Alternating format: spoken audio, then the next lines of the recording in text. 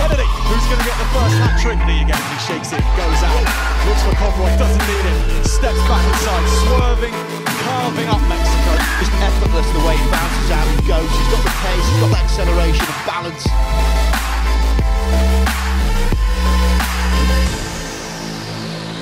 Bounced on the outside, checked it, went back on the inside, fancied his chance again to come back round, and that's an international centre getting absolutely blown away. You can barely touch him, and that could be the difference between sevens and 15s.